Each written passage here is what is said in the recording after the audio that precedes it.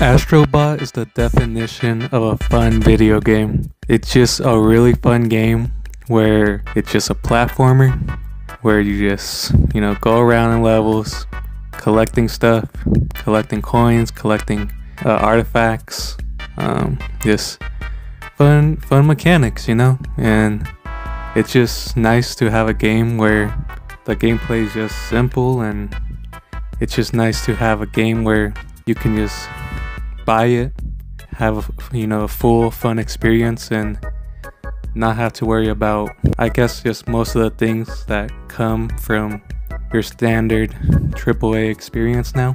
One of the points I want to talk about is how Sony is using Astro Bot as a way to bring back mascots. Back in the earlier generations of gaming, you know, PS1, PS2, PS3, you know, the Xbox, um, Xbox 360. Those those consoles did have their mascots, and I feel like Nintendo has been the most consistent when it comes to their mascots. I mean, they've been doing, you know, or they've been promoting their mascots for decades now. Whereas I feel like Sony and you know Microsoft have I guess just abandoned their mascots into the back just back in the past. It's nice to see you know a new face for the console and also there's some nostalgia by referencing by referencing other uh, mascots from the past within the, the video game. Um, also, it's just a nice the, the video game just has a nice art style you know good to look at.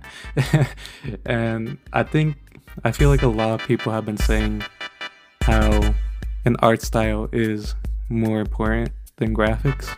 Of course graphics are nice and all. Um, i mean who doesn't like 4k graphics or realistic graphics? But i feel like there's a place and a time for those kinds of graphics right? I don't think every game has to you know, be super crisp or, you know, have realistic textures. Um, yeah, just just having an art style that has character and has some uniqueness to it, it just makes the actual experience of playing the game just more memorable, you know? And it's I feel like if you have an art style that is memorable, it will stick with um, you know, gamers for a longer time. Uh, for example, if you look at Bloodborne, um, of course, the graphics are not the best. The art style is amazing, and um, you can just, if even if you never played Bloodborne yourself, and you just seen, you know, art from the actual game, you know what the game looks like, and you have a feel for it that also leads me to talking about how Astro Bot takes inspiration from Nintendo. I feel like Nintendo has focused more on just developing or just giving players a more, I guess, just a more simpler experience when it comes to gaming rather than focusing on, you know, graphics or hardware power their main focus is their main focus is on how fun their games are, and that is the kind of game that Astro Bot is. If you were to tell someone that Astro Bot came from Nintendo, I feel like they would believe you. Just remove all the the Sony references and PlayStation references, and and you got yourself a Nintendo game right there. Um, but yeah, if if you're tired of the way gaming's been going recently. You know, with all the all the microtransactions and live service games and you know the all the just deluxe editions with you know things like skins and early access which is not really early access it's more just like people who buy the standard edition just get the late access um, but anyways, yeah, if you're tired of all that, I feel like this game is just perfect for is getting you back into having fun with video games. Um, if you're around my age, you probably don't have as much time to play video games now. And, you know, it's hard to just immerse yourself into a game and just sit down and have fun for just like an hour or two. Um, but this game, you just jump in, you know, play, you know, however long you want until, you know, you're just satisfied with a, you know, just a fun experience. And you don't have to worry so much about a story or, you know, focusing on, you know, you know, being competitive because I feel like a lot of games are now competitive.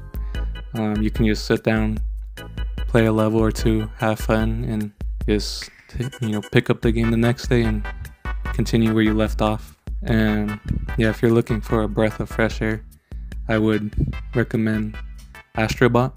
And yeah, I mean this game just reminds me of you know the simpler days where you know where where you were just a kid sitting in front of your you know your box TV. you know, put in you know one of the games you had um, if you were like me, you probably only had like three games at a time.